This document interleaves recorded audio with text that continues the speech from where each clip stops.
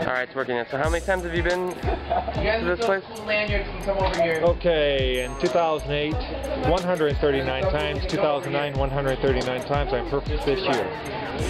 I've been to Soak City last year, 102 times. I'm per- missed one day this year.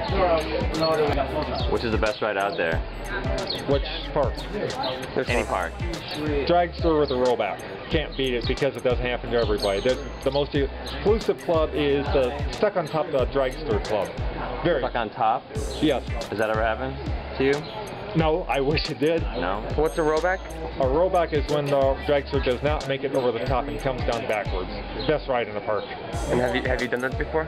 25 times, 2009, two times this year so far. No, I mean a rollback. Have you how many Yeah. times? 25 times. 25 times rollback. 20. 2009. Usually happens when the it's raining out and the track is a little bit wet. Is there anyone that knows more about these rides than yourself? Many people. There are coaster Really? freaks all over the place. Some Yeah. of them wear these t-shirts, some of them will come to you, they'll start telling you who made the coaster, when they made it. I call them uh, CIA, Coaster Intelligence Agency. They've actually been known to follow trucks with coaster parts and watch which way they head off so they can tell which where it's headed for. Now, is there any competition between you guys, or friendly competition, or is it is it mostly Competition, just bragging about how many number of rides on no X coaster and whatever coaster. I don't do it because there's no way to keep track. right? Word of honesty. With this, they keep track of it in the computer. Those are. Wednesday I'll hit 200 times here. Yeah. So what else? What else can you say about yourself? I did the most stupid thing ever. I drove to Kings Island one day, turned around, drove 205 miles from the parking lot of Kings Island all the way to the parking lot of Cedar Point. Then I rode uh, Millennium Force, Dragster, Maverick, and Top Thrill paddleboat all in one day.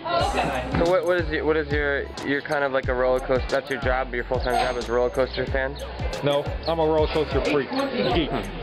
I wrote a thing on the web. Uh, 141 signs you're a roller coaster geek. There it is. And what's your name? Chris Glodde. Chris Glodde. What's your website? ChrisGlodde.com. All right. What can we help to find there? Nothing. Nothing. It's my website and how to spell my All last name. Let's get a good look at that. Just keep it. Don't worry about it. I'm a Mason. You have nothing to fear. I'm a nutcase. I've been over to Iraq. Craziest thing I ever did was when I came back in 2004. I asked at the gate which day does when does Cedar Point open. When they said today, I looked at my wife, who I hadn't seen in a year, and told her, "Honey, I love you. I'm going to Cedar Point." And nope, she did not kill me. Where do you live? Five miles away. Oh. Of course, right? Yeah. Would you live anywhere else? Uh, I looked at the cost of renting the breakers for a year. and It would cost eight thousand dollars, eighty thousand dollars. Because that would be closer. Uh, yeah, in the park.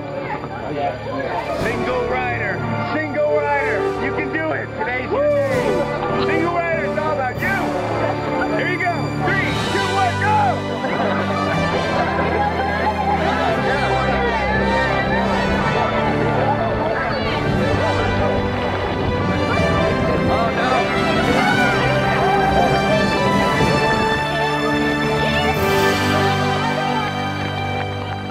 all this. Look how ridiculous this is.